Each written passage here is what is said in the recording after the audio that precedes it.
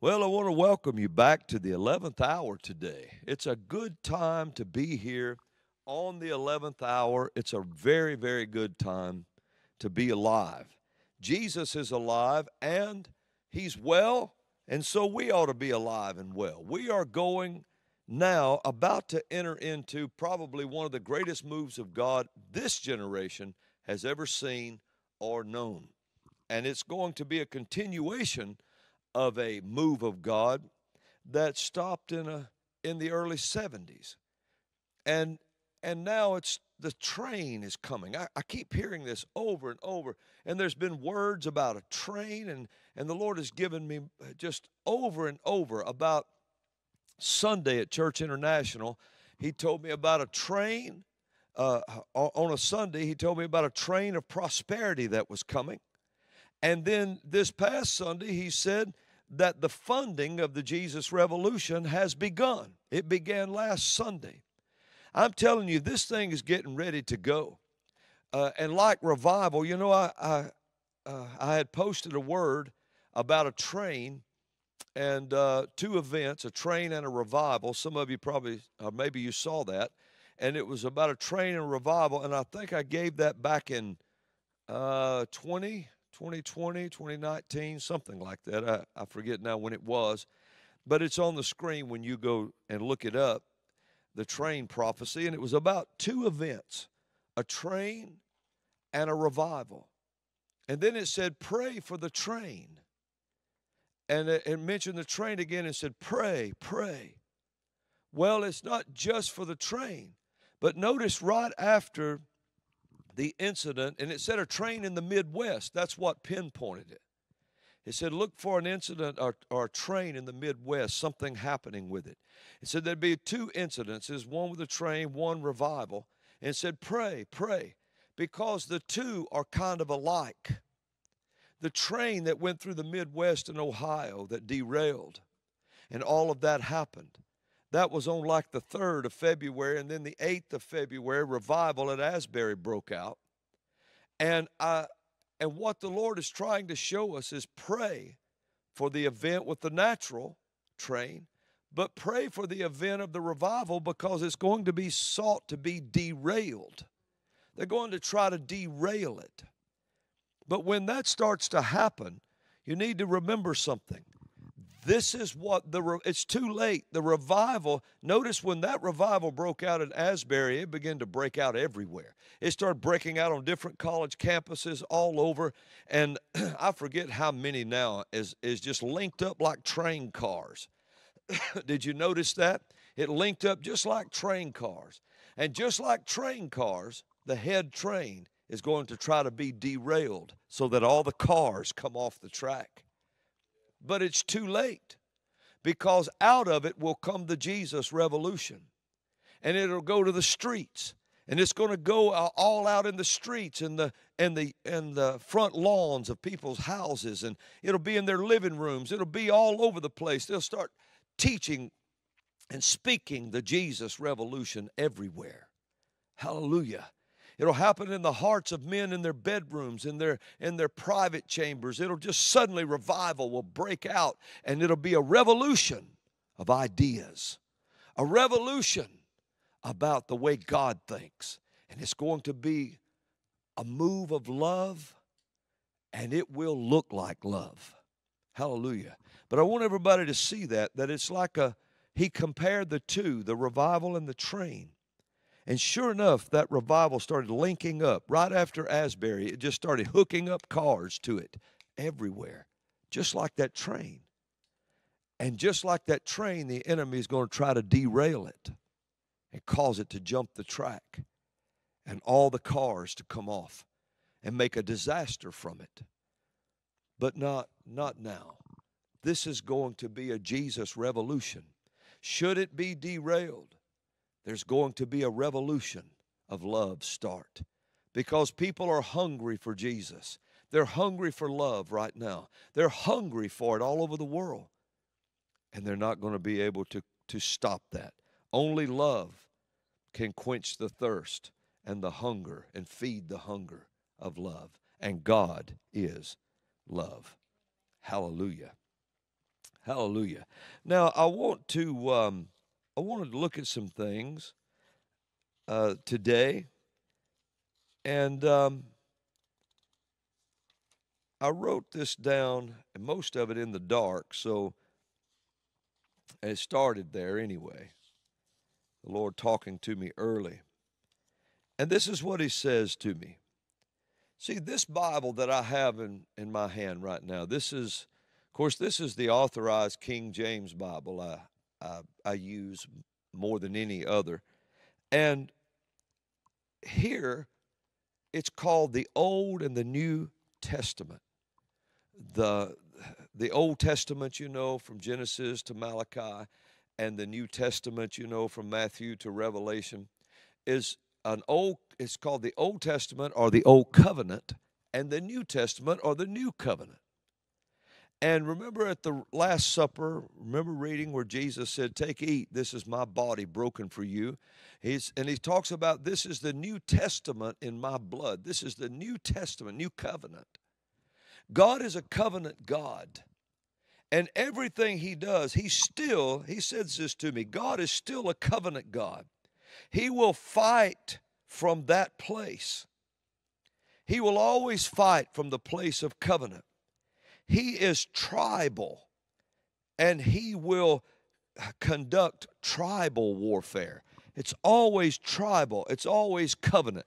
God is not he's not conventional like you see a lot of people. He's not he's tribal. This is why Israel is 12 tribes and and Jesus is the lion of the tribe of Judah. It's always covenant. It's always tribe. And it's like I told by covenant brothers in the in the Indian nations and the and uh, the Native Americans, you call them.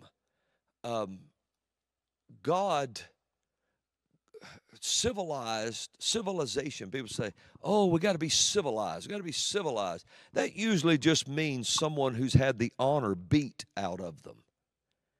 But covenant and tribal. That's why the native people in this nation couldn't get over that men would lie. They didn't lie to each other. And they couldn't get over that men would lie. And so their words became no good to them. And they wouldn't lie to each other. Well, the body of Christ is tribal. We've come into the blood of Jesus. We've been made, we've made covenant with God through his blood. We entered into Jesus' covenant with his Father. And we're in that. We're his body. And we have to remember he's still a covenant God and he will fight from that place. He is a tribal God and he will conduct tribal type warfare, tribal warfare. Because he fights from these places and from that place of covenant and tribal warfare. Because he fights from there, then he he does this in a way to protect you and I. He fights from the place of covenant and tribal. So he, he protects us when he does this. Now, I want you to look at Genesis 3 15. Put that on the screen, and I want you to see some of that today. It is a prophecy that was given, and the Lord Himself gave it. And He said, I will put enmity or war between thee and the woman. Now, now notice He said war enmity, war. I will put war between you and the woman, and between your seed and her seed. And he's talking to the serpent. And it shall bruise thy head, and thou shalt bruise his heel. Now, he said, I'm going to do this, but remember, he fights war from the place of covenant, and he's, he conducts tribal warfare. So he says, I'm going to put war between you and the woman. Now, now we know how he's going to fight it. And he says this, then he starts talking about Jesus being crucified. He said, And between thy seed and her seed, and it, her seed, shall bruise thy head, and thou shalt bruise his heel. This is talking about the crucifixion. So he's already talking about how he's going to fight this war and how he's going to win this war. He has to do it in covenant. And he's going to do it from that perspective. Now, now just stay with me a few minutes. I want you to look at, at verse 21. And this is after Adam had sinned. Of course, that prophecy was given after Adam had sinned. And watch what happens here now. He says, I'm going to do it through covenant. I'm going to wage a war against the serpent, against his seed. That's the Antichrist to come. And he said, So now we know the war is going to take place from generation to generation between two seeds, two lines coming down the line. Can you see that? So we know it's coming through the seed, two seeds doing battle, trying to gain access into this earth. And so he says this. He comes over here to Adam, and it says, in verse 21 and unto Adam, Adam, the covenant man, and also blood in his face, Adam, red and rosy, also and to his wife did the Lord God make coats of skins and clothed them. Now, I want you to take note of that because it says, now this is a covenant. He made coats of skins. There's two kinds of coats talked about here. One is a layered hide, it's a layered hide, and another is leather shirts. So now we realize that there was animals who died in covenant sacrifice to be to layer the man's hide. It was a covenant God and Adam made with each other for life to survive. He was going to die. Why? Well, we know his death entered into when he sinned, but he was going to die pretty quickly. Because remember, when Adam was created, he was robed in glory. He was crowned in glory. He had no there was no decay, no rot in the earth, no death in the earth at all. So Adam would have had only need for one layer of skin. Just one. And he was covered in his outer with the glory of God. And there was nothing to decay him. But as soon as he sinned, he realized death has entered in, and he would have died. Because when that one layer of skin died off, Adam could not have lived. So now you know why he would have covered himself with fig leaves. He would have done that. And that fig tree, more than likely, was the tree of the knowledge of good and evil. And that's why he knew his destiny was tied to what he did with that tree. And he took those leaves and began to make him and his wife coats or clothing, aprons, the Hebrew says, talking about trying to cover himself to protect himself. And he hid himself among the trees. You could carry this further, and it also would talk about how Adam made plank houses to hide himself from the elements. He knew things had changed. And so he went to the Lord, and the Lord came and talked to him, and he made him coats of skins. He layered his hide. Now you and I have more than one layer of skin. And one dies off every year or so, ever how often it does, and another replaces it. At least three layers of skin. That why I think it is three layers. That why that way you have that's why you can have first, second, third degree burns. And it was because if he hadn't have layered the hide, then mankind would have died away. And because it was leather shirts from animals that was offered in sacrifice, now you know a covenant to live was made between God and Adam. The animals were offered in faith. The hides were used to robe the man, but God made the layers of skin grow. And now he had a covenant to live. Now, this was made with a sinful man.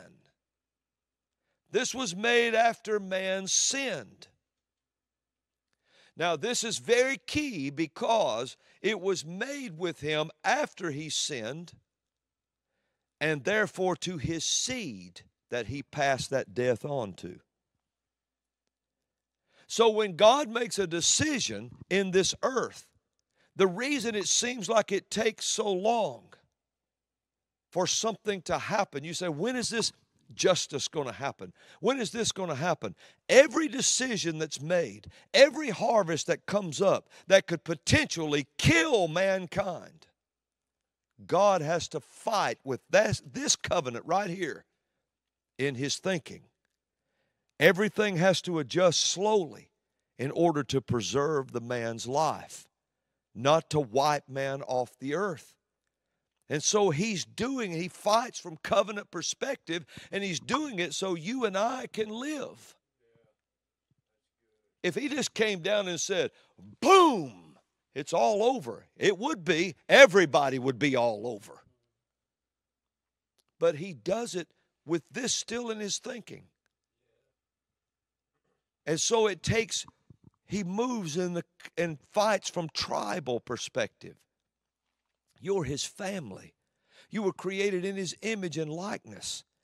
He still has that in his mind to try to save you from dying.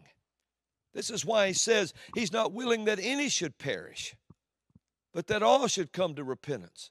If he'd have wanted every man dead, he would have just not done that right there with Adam. All he had to do was not make that covenant with him, and that man would have died in one year and so would all of his seed with him.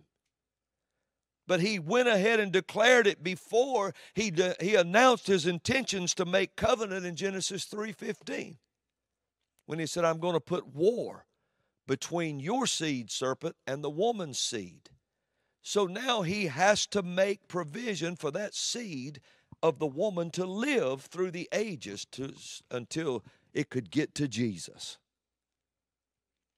Can you see that? Can everybody see? It's pretty heavy, isn't it? Huh? Oh, that's heavy, Brother Robin. Yeah, but we have a heavy God.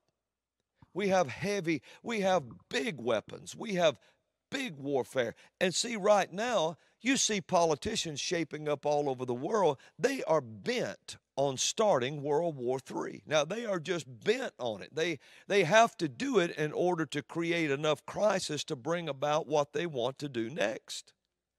But they can't overcome this covenant. They're not going to destroy the world. They don't have the power to destroy. Oh, yeah, they got a bomb. A bomb? They don't have the power to destroy the world. They may have enough firepower, but they don't have the authority to do it.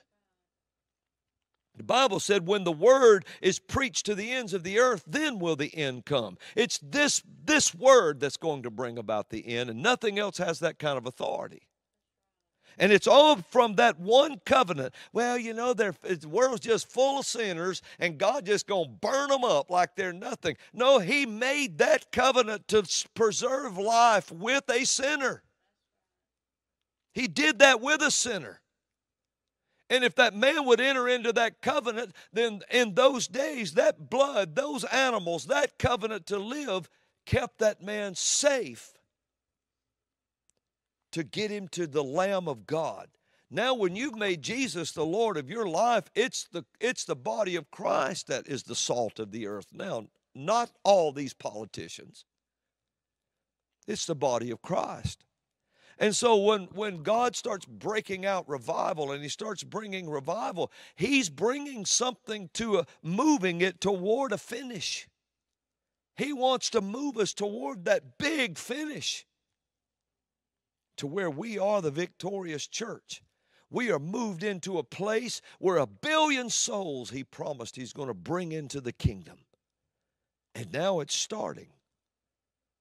And the train, everything was a marker in time. I, I, I don't know if that's too heavy or not. I, you know, Brother Robin, you're just getting further and further out. Well, really not. It's just whether you understand covenant. And covenant relationship is where God deals with you and I. He deals with the world through covenant. Even sinners in this time, it was made that they could live until they could make their decision. So every step anybody in the world makes to die, the Lord throws one roadblock after another in their path. You know why? So that one day even a sinner that's going to go to hell if he dies in his sins or her sin is not going to be able to stand before the white throne judgment and say, You did nothing to save me. The Lord will have every roadblock he threw up to keep them from dying. Everywhere they turned, he tried to stop death from getting to them. Everywhere, while he was telling them about Jesus, telling them about Jesus, they ultimately avoided every roadblock to preserve their life, and then they rejected Jesus in the end. And when you stand before God, you have no excuse. He will show every single thing. He still upholds that covenant just to preserve physical life. But he has to do it with you. Adam could have ripped off those clothes, threw them on the ground, and said, I don't want any part of this. So we have to remember you think, well, justice moves slow. No, covenant fights from a place of preservation. Covenant fights from a tribal warfare to protect while it conducts its war. So you have to remember this is where God is is fighting for us. Oh, you know, man, I'm telling you straight up. You see you know, you see the the jackal that's sitting where it ought not right now. Why is the jackal not removed? Because of mercy. It was that covenant right there is when mercy first showed its face when he came to Adam and made him coats of skins. Mercy showed up.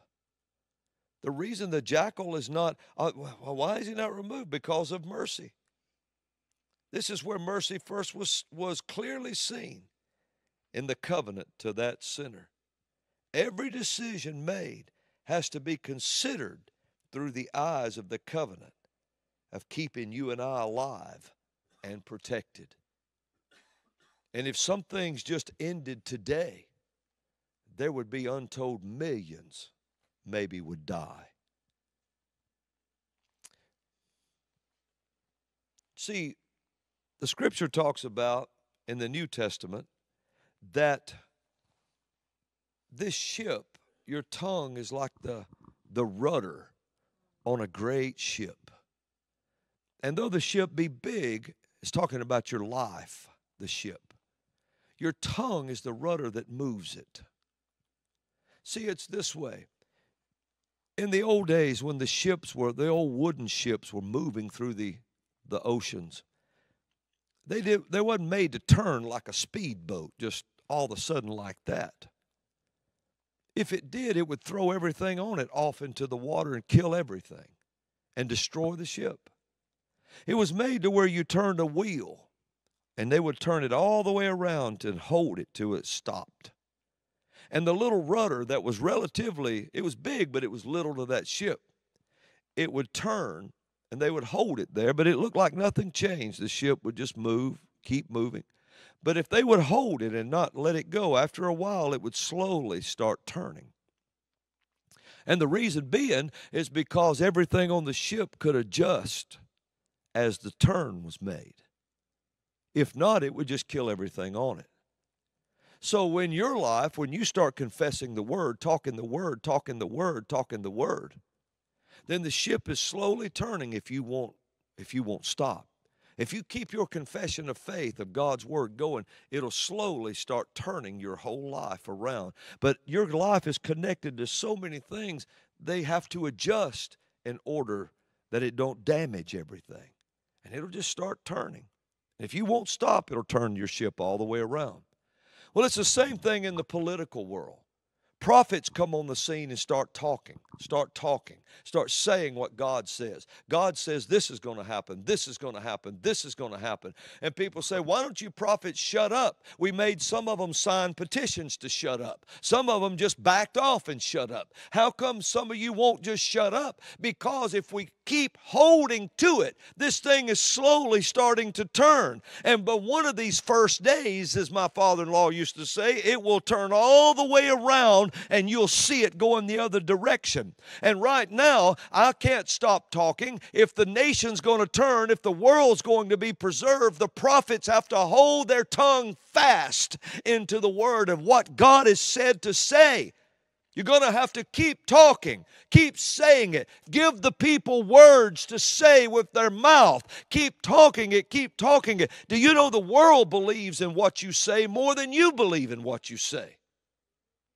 I remember there was a guy worked with me in ministry one time, and where he worked at in his secular job, he would talk about the end of time and the rapture of the church and so forth. And a lost man came up to him and said, I wish you Christians would stop talking about that. They said, now this is what they told him. If you talk about it long enough, you're going to talk it up and it's going to happen. They believe it's going to happen and they know the power of words. Why do you think these secular news channels are fed the same news feed to say the same thing all the time, all the time, all the time? It wasn't long ago, a couple years ago, somebody noticed that and put it out and, and played them all simultaneously, and everybody was saying the same things. It's because they know if they keep talking it, talking it, talking it, talking it, it'll start turning the whole thing that direction. And somebody like Donald Trump came on the scene during in the political realm, and, and people like Bibi uh, Netanyahu came in, and all of a sudden, man, it was upending the, the narrative. It was speaking differently. They said, We got to get rid of them. Oh, God, we got to get them out. Got to get them out. We've got to keep everybody talking the same way. Notice this in the book of Revelation. When the when you see the Antichrist actually come and sit where he shouldn't be sitting, and you see him there in the East, you see him there in Jerusalem, you see him there doing these things, and it says that he is he is trying to take over the entire world, but there's two prophets that are there, and they're resisting him. And it said he can't overcome this fire that comes out of their mouth. It's their words. They won't quit talking the prophecies. They won't stop. They won't quit. And it said, whoever tries to stop them, fire comes out of their mouth and consumes them. It's because that's what prophets are talking for right now. And the first thing religion does is, is shut them down, shut them down, shut that prophet up, make that prophet be quiet. It, it's only going to happen the way we want it to happen. If we listen to your ignorant mouth, the next thing that would happen is, is that we would lose this great nation and we would lose half the free world. You really need to understand prophetic covenant tribal warfare. What do you think prophets were sent here for? Why do you think they're spotlighted right now? You've got fools like, like uh, Noah Harari. You've got people like that and Klaus Schwab talking about putting chips in your baby's brains, and they're doing it out in the open, and they're talking about the things will change, making cyborgs out of people, transhumanism, talking about all these things to make you less than human, to rewrite a third strand of DNA into people's body so that you're not human anymore. Think of it. It's not a conspiracy. It's not a crazy prophet talking. I'm not, they're saying that. They're saying that out in the open. And notice they're attacking God when they say it. They're saying things like, well, all the God of the Bible managed to create. Well, why even bring up the God of the Bible? If there's not a spirit pushing them, why wouldn't they just not even mention the God of the Bible? But notice every time the God of the Hebrew Bible, the God of the Hebrew Bible, all he managed to create, notice they didn't deny his existence. It's because you're looking at a demon possessed person talking from a spirit is speaking that knew God and was there when he created. All he managed to create was organic life. And all you managed to create, science, is a remote control RC car. That's all you managed to create that has to run on double A's. But no, all he managed to create was organic life giraffes, tomatoes, humans. Well, let's just, uh, why don't you just do the giraffe first? Do you realize what kind of ignorance? And this is what they're saying. And we're not talking about just some little peon somewhere. We're talking about people who controls vast wealth. And so they're herding everybody like cattle into places where they can't get their hands on any wealth. But I got news for you. A wealth transfer is coming, and it has already begun. And it's going to be like a train coming through. It's going to be the 90 donkeys loaded. It's going to be the wealth transfer, and it will hook up cars of wealth in the body of Christ until it takes 12 months to watch that train pass. And then you take the money away from them and see how many chips they stick in somebody's brain. Take their money away from them and let's see if they talk about a silicone body that don't need anything else. Just take the money away from them and they can't even make a BB. So this is why prophets can't stop talking.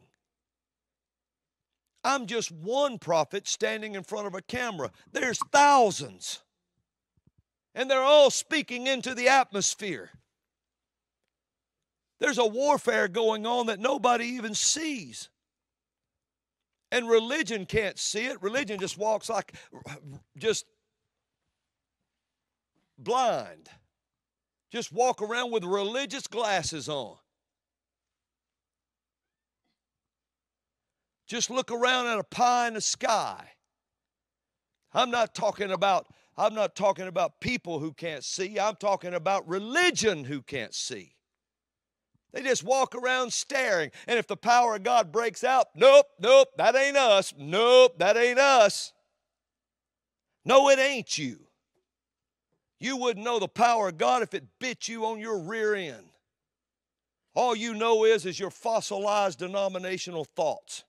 You see where that got you. Homosexuals standing in the pulpit, singing in the choir, uh, transgenders coming into your church, twerking in front of your six year olds, taking little children and against their will mutilate their bodies in operating rooms. That's religious blindness. Who is that? It's what Jesus said. There is none so blind as those who will not see those who refuse to see. Well, I'm going to tell you something. The Lord's going to start opening the eyes of the physical blind. And people that have been blind in this earth are going to start seeing again. I'm not talking about spiritual either, I'm talking about physical miracles. They're going to start seeing again. And it's going to be a sign to you that the next step out of that is going to be religion blindness pulled off of their eyes. Hallelujah. Oh, hallelujah. Somebody gets, well, we're mad at you, Brother Robin. We're just mad at you. Well, there's a big crowd that is, so just join them up. So prophets can't stop talking. They can't. This Jesus revolution that's coming is going to be with power it had to start with people being born again. It had to start in revival. A revolution of Jesus' love has to be born in fire, not fog machines. Fire. And real fire. I watched that Asbury thing that broke out. Did you know that when you look at it on camera, there was a smoke, a fog hanging all over the place? The glory was there. I don't know who noticed that but it was there.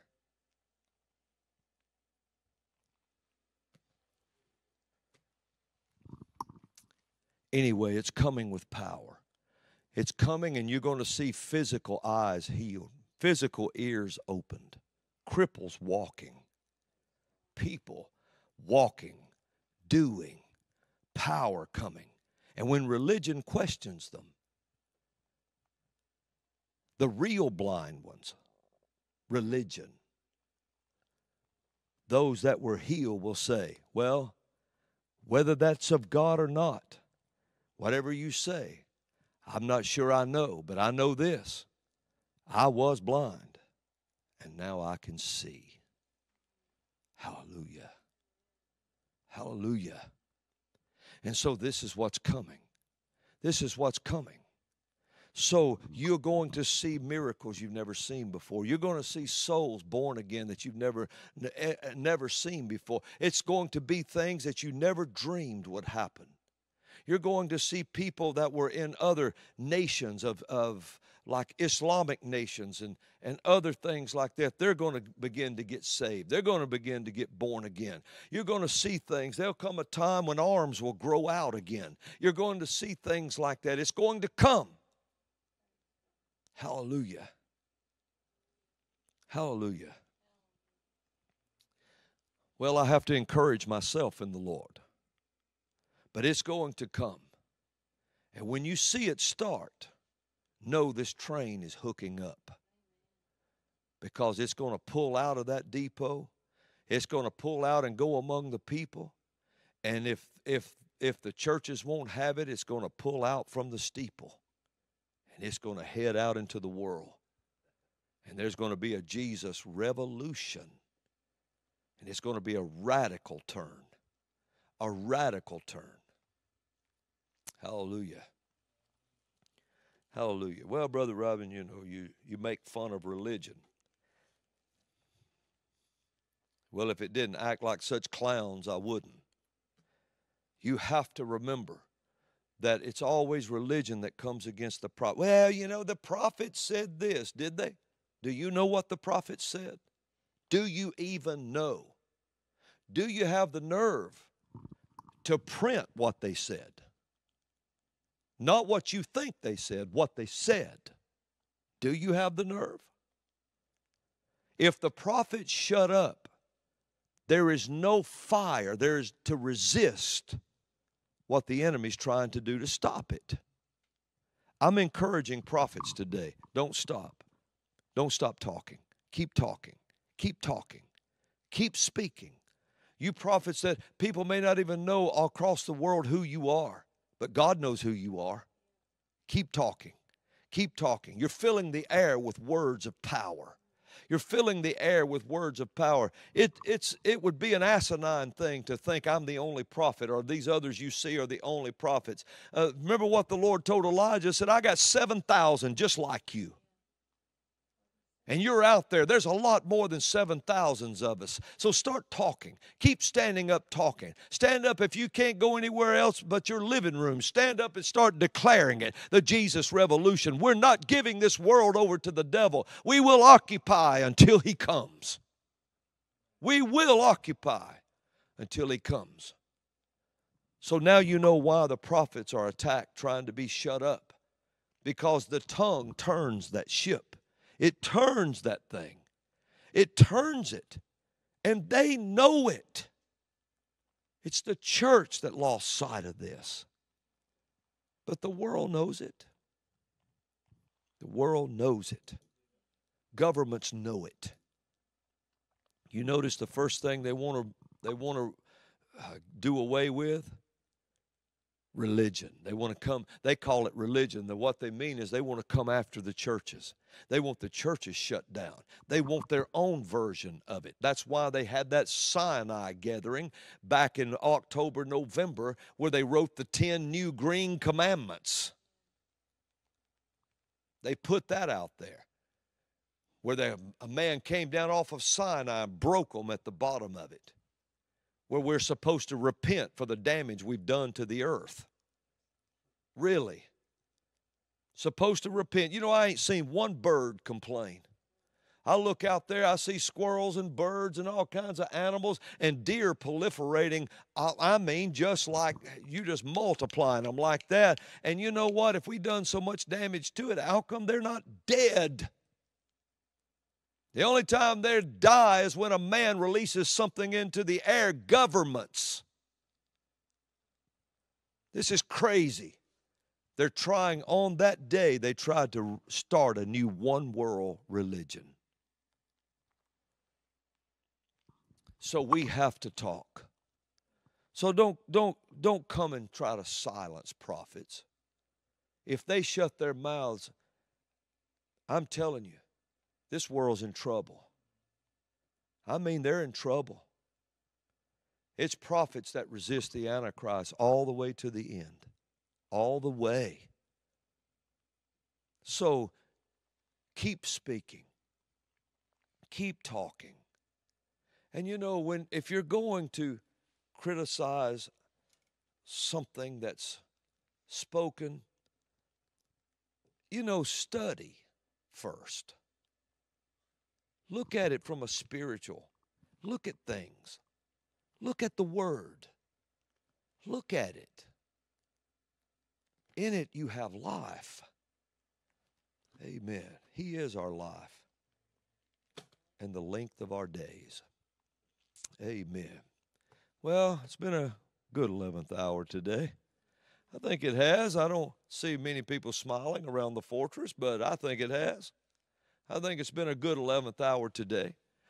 Well, you know, Brother Robin, you just you just do this. The only thing I criticized was organized religion. That make you mad?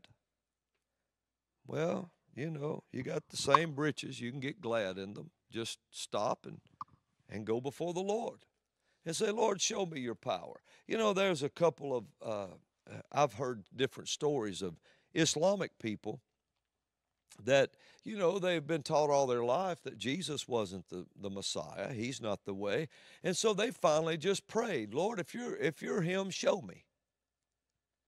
And they just he appeared to them. Just appeared to them. And boy that radically changed their theology.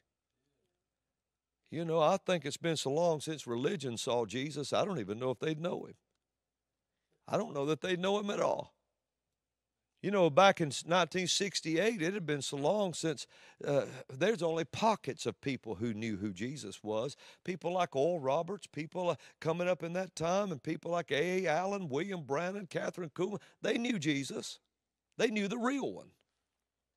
But you know, organized religion at that point had just got to where it didn't know him anymore. And when all of a sudden he showed up in the Jesus revolution and the Jesus movement, they called it, the Jesus freaks I'm convinced it, it, was prof- it was either being prophesied or trying to come to pass when DC Talk wrote that song. Jesus freaks. I'm convinced they were either prophesying it or it was trying to come to pass then. I really do. Because it was radical. You know, I wish I knew the words to it. I'd read them to you. It would uh, absolutely upend your theology. I saw a man with a tag on his big fat belly, as it moving around like marmalade jelly, something like that. He said it took me a while to read what it said because I had to match the rhythm of his belly with my head. Jesus saves is what it read. It reads what he raved in a typical tattoo green. Stood on a box in the middle of the city and he said, I have a dream. Now that's that's Jesus freaks. That's Jesus freaks. And that's what we are. We're just we're Jesus freaks, they call us. Okay. All right. Welcome to the freak show. I mean, I'm here. I'm, I'm standing here. Well, you know, you don't look like we think you should look. You don't, you know, uh, you know, that's right, because I'm part of that crew. I'm part of that crew. And so we, I'm, I'm convinced they didn't know what he looked like. Then all of a sudden he starts moving in California. And he starts moving on all of this. And he starts bringing it to pass. And he starts saving the hippies. And he starts saving those on drugs and saving those out of the homosexual communities. He starts saving those when, and all of these, these witches and warlocks and all these kind of people come into the Lord. And they would even, they got so into Jesus, they wore their hair like him, beards like him, sandals like him. Some of them wore robes like him. And you see all of this happening. And music, I remember even the Doobie Brothers came out. It's what, 72, was it? They came out with Jesus is just all right with me. Man, that was one massive, powerful song. And then, well, who was it did Spirit in the Sky? I'm going to go up to the Spirit in the Sky. That was part of the Jesus songs. They did that on purpose. I mean, think about it. A group called Doobie Brothers singing about Jesus and who he is. Just think about that. And you had songs like that. And you had uh, you had something happening and then religion saw it. Oh, oh, look at them. Oh, look at them.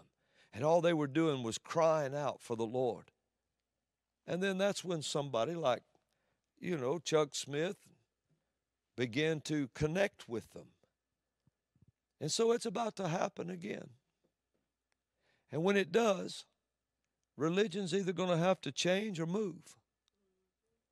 Because this is the that kind of religion has no place in this. It just don't have any place in it. Hallelujah. Hallelujah. And so, you know, what was it? And they said before, somebody said, I remember this, that don't criticize somebody's dirty feet until you're prepared to wash them. So we have to remember stuff like that. What else do you have anything for? You're blessed so you can bless them. You're blessed so you can spread the gospel. You're blessed so that you can show them another way of living. You can, not a religious way of living. Don't come in and tell somebody cut their hair off above their ears. Not when you've got a picture of Jesus hanging up in your house with hair past his shoulders. Don't do that. Don't tell somebody shave their face when you got a picture of Jesus with a forked beard about four inches below his chin or so, six inches. You can't, don't do that. I remember one time I was driving a church bus and I was I was doing anything to reach people for the Lord. I was I was just I was driving a bus, uh, going out picking up little children. Uh, our ministry we we didn't fit in anywhere, you know, and so we just had a youth center we were working with and just trying to reach people, teenagers, young adults, old adults, it didn't matter. And we'd go in and get people that didn't have no no money, no food, and we'd feed them and we didn't have no money either. But we'd somehow we'd take what we had and the Lord would multiply it. And I began to look for a bus. I wanted a church bus, you know, back in those days, the old school buses. And this one church had this little half bus, school bus. And I went to test drive it, and me and a couple other men, and and the pastor of that church was in the bus with me, sitting behind me while I'm test driving it. And and we got to talking about ministry coming down the road, and I was coming up to a tra- uh, stop sign, not a traffic light, stop sign. And I, I said, I told him a bunch of things, and he was older than me, so I respected him. And I said, Well, how am I doing? He said, well, you're doing okay, except, and he reached up and flipped my hair off my collar like that. And my hair wasn't nearly this long, it was just uh, touching my collar. He flipped it off my collar. He said, All except for that. Well, I had whiskers too. And he said, Don't tell me. And then he just said this. He said, Don't tell me, and don't try to tell me that Jesus had a beard either. And I said, Really? I said, Well, Isaiah chapter 50, verse 6 said they plucked it out by the root. Oh, he got real quiet. He got real quiet. He had to have had some kind of whiskers because they plucked it out by the roots.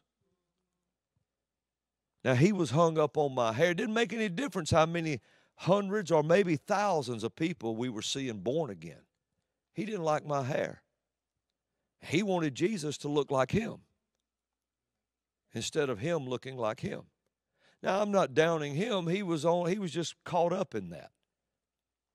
You know, a cultural captive is not even qualified to judge their own surroundings.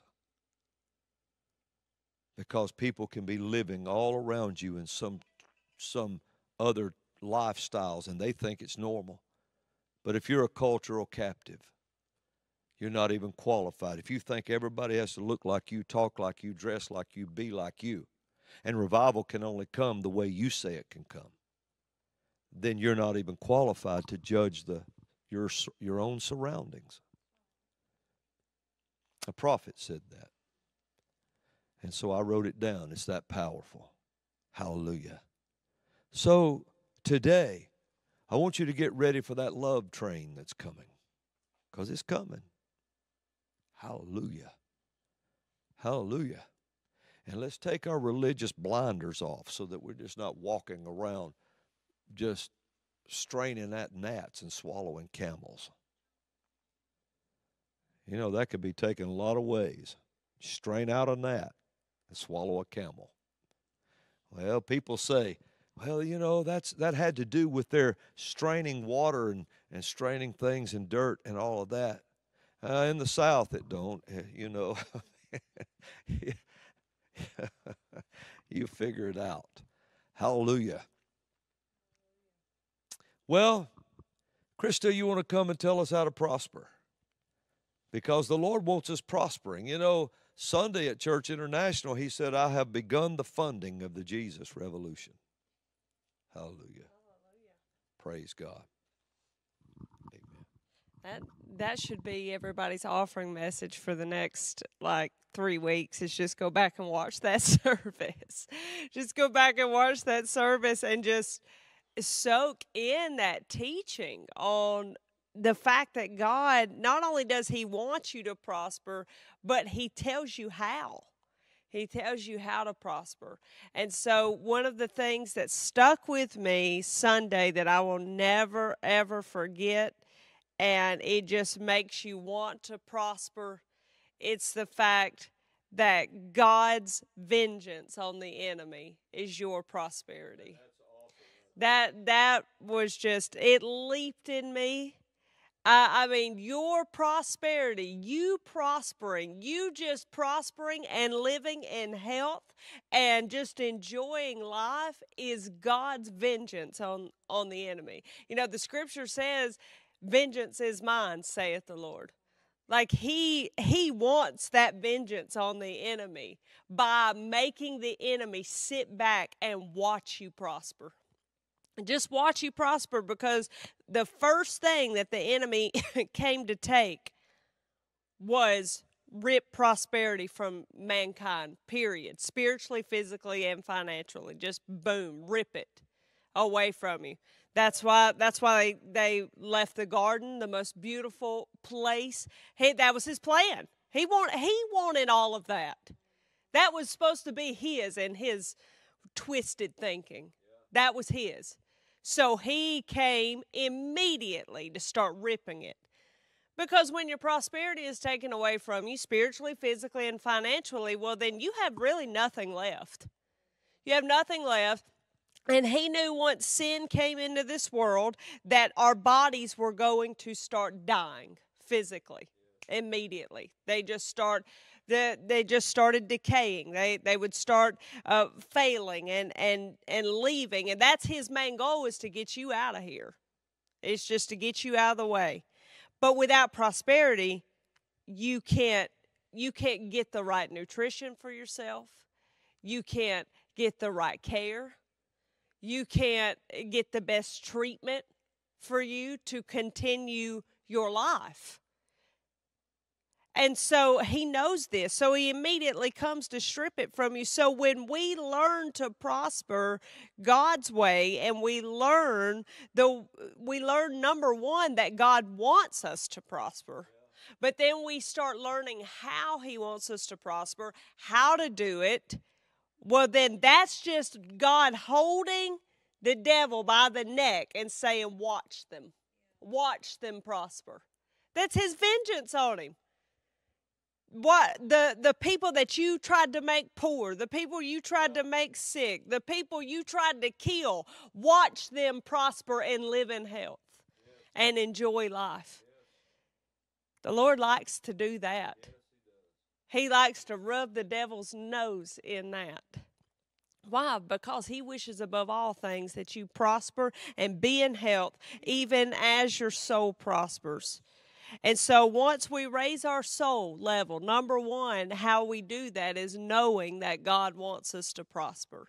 Because faith begins where the will of God is known. Then your soul starts climbing. Then you start receiving knowledge and revelation from the scripture. and when that starts filling you up, your soul starts growing and your soul starts starts coming up. Well, then it says, even as everything else comes up too. You know, I said this a long time ago. I said, Are you not prospering? Are you not in health? Check your soul. Check your soul. Where's your soul level at? Where is that at? Because it's supposed to be an even number across the board. So, are, are you sick? Check your soul check your soul find out where where that is because you know depression brings sickness. It'll just bring it on. Or are you broke and you don't know how to uh, how to pay anything and you don't know how how you're going to do this or how you're going to do that? Check your soul. Because it's an even thing that you prosper and be in health even as your soul prospers and how is our number one way of prospering? Get in this right here. Raise your soul. Raise your soul so that you can start prospering and living in health like God designed for you to do from the very beginning. And let's get vengeance on the enemy. You know what? Hasn't he taken enough from you? Hasn't this gone on long enough? It's gone on long enough. Let's stop it. Let's stop it in our life because our best days are ahead of us. They're not behind us. And all I've got stuck in my head is people all over the world join hands, start a love train. that's all that's all I've got got in my head right now. We we've got you know, it takes it takes funds. It takes prospering to keep this train moving. You know? Yeah, you're singing it. I know you are. You're singing it now. Love train. well, while we're joyful, Luke 6:38 it says give and it shall be given unto you. Good measure pressed down, shaken together and running over shall men give unto your bosom. For with the same measure that you meet with all, it shall be measured to you again. You say, I believe it, I receive it, I call it done in Jesus' name. Now for the tithe, Malachi 3.10 says, bringing all the tithes into the storehouse, that there may be meat in mine house, and prove me now herewith, saith the Lord of hosts, if I will not open you the windows of heaven and pour you out a blessing, that there shall not be room enough to receive it, and I will will rebuke the devourer for your sake, and he shall not destroy the fruits of your ground, neither shall your vine cast her fruit before the time in the field, saith the Lord of hosts, and all nations shall call you blessed, for you shall be a delightsome land, saith the Lord of hosts. Say, I believe it, I receive it, I call it done in Jesus' name. Amen. So be it.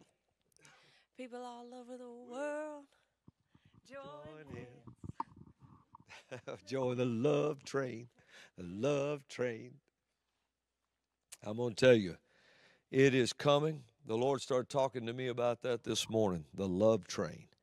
Well, you got to have a ticket, but the ticket was already bought for you, it's already paid for. What you have to do is just receive it. Just receive it. The Lord's holding that ticket out to you right now. And what is that? Well, You know, there's no way you could pay for your sin. There's no way that you could ever bear and pay for Adam's treason the way what Adam did and passed on to you. And that death he passed on to every man had to be paid for. Well, Jesus did that on the cross. That's why he went to the cross. He did that there. He became the sacrifice. Uh, this thing had to be paid. And so when it grew dark that day and hell came to, to more or less annex the earth into itself, it just came to, to cause the annexation of the earth. Hell had enlarged itself to receive God's people. When it came that day, Jesus was the one who bore the sickness, carried the pain, the sin. He became our sin. 2 Corinthians 5:21 declares it. It declares that. Look at this. Put that on the screen. Let the people see this. I want you to see that. 2 Corinthians 5, verse 21. It says, For he hath made him, Jesus, to be sin for us, who knew no sin, he that knew no sin, that we might be made the righteousness of God in him. Now that's what he did. He traded places with us on the cross. And so when you receive him as Lord and Savior, you know, you make him the Lord of your life. 2 Corinthians 5 17. Look what that says. It says it declares these things. Therefore, if any man be in Christ, he is a new creation, a new creature. Old things are passed away. Behold, a few things have become new. No, all things have become new. And it goes on to say, and all things are of God, who hath reconciled us to himself by Jesus Christ, and hath given to us the ministry of reconciliation. We're supposed to be going and telling people, look, God is not mad at you. He's not holding anything against you. All you have to do is make Jesus the Lord of your life, and you're back with God as if you never committed a sin not because of your righteousness, because of His righteousness. And He took your unrighteousness, and now when you make Him Lord, you become the righteousness of God in Him. And that's the message you're supposed to go tell the world. The next verse went on to say it to go tell the world about this thing. It says, to wit that God was in Christ, to know reconciling the world unto himself, not imputing their trespasses unto them, and hath committed unto us the word of reconciliation. That's what we're supposed to be preaching. That's what we're supposed to be preaching. That's what's piloting this love train. That's what's bringing it about. That's who's at the helm of it. Can you imagine, man? And when that train pulls up, psh, in front of the world, and suddenly you see people getting on it with hair longer than mine, and people with nose rings, ear gauges, all kinds of tattoos on their faces, and they start to step up on that train. And religion says, You can't get on this train. I mean, how in the world is God going to let you on this train? And you get up there, and they say, I don't know. Ask the, ask the conductor. He's the one that invited me on. And they look up there at him, and Jesus turns around and swings his hair around around and looks at all of them with his forked beard and maybe flashes that thigh of his up there and it's got King of Kings and Lord of Lords tattooed down the side of it and holds out his scarred hands with those holes and daylight shining through it. And you know what religion would say? Religion would say, Oh, he, they wouldn't even say he's got a. Some would say, Look at that tattoo on his thigh. The other one would say, Look at him showing his thigh. They can't even get over it. And then he's going to ride a horse and show his thigh. Boy, that just upends everything. But when you look up at his eyes, it blazes with chesed, the fire of God. It's coming out of his eyes. And that's the that's that's the chesed, the hasid in the Old Testament, the tender loving kindness and tender mercies of God. And what it means is, is it's someone who has is like a mother and a love for her baby that would throw herself into a burning building with no thought for her own safety because she loves that child so much. That's who's driving that train. That's who's driving that train.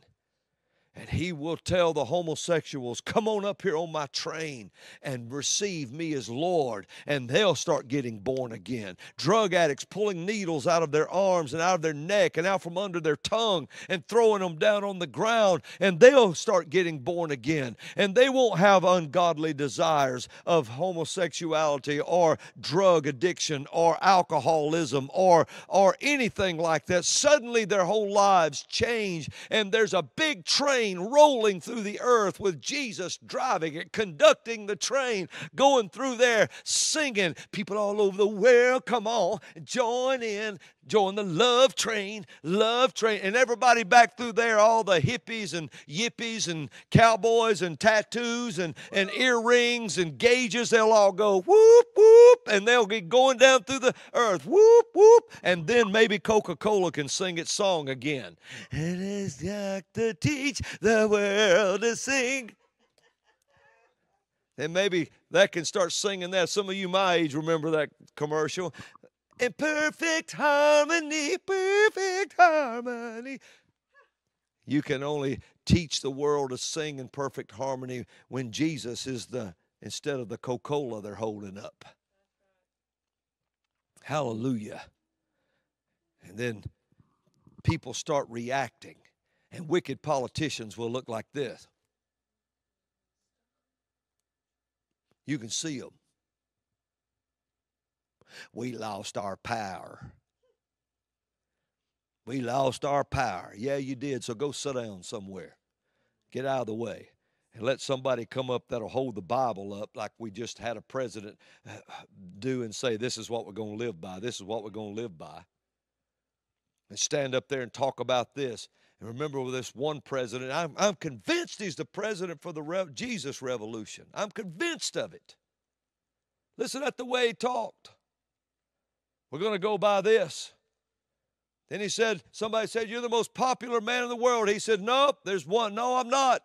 They said, Who is? He said, Jesus Christ. He said, It's not even close. It's not even close. And then somebody turn, come up to him and say, you, you know, you believe in the Bible? Hell yeah. And religion says, oh, he can't talk that way. He can't talk that way. They're cultural captives that are trapped in their own culture. You know what cult means? The word cult, hey, you're a cult. You know what cult really means? Someone who worships their own belief. Someone who worships their own belief. That's the definition of cultus, cult, culture. Someone who worships their own belief.